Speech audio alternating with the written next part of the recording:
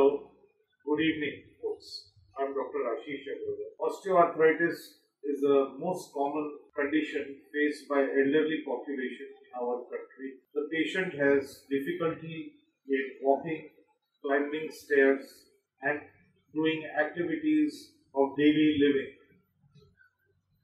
Painkillers are not the solution to the problem.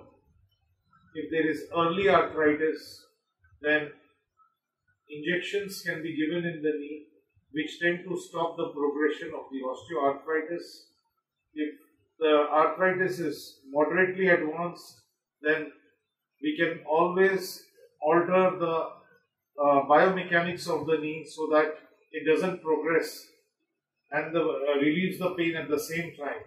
However, in advanced osteoarthritis, surgery is the only option and knee replacement with all the technical abilities available and facilities available and the expertise available is so advanced that it leads to very very good results. And the patient is pain free he is able to walk the next day and is relieved of all his symptoms.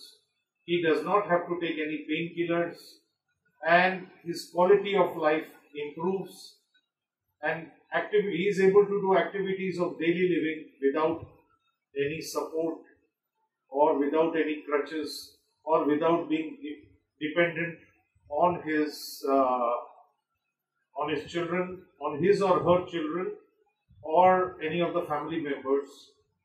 So this proves to be a very big uh, plus point for the patient, and they are able to ambulate and lead their lives independently. Thank you very much.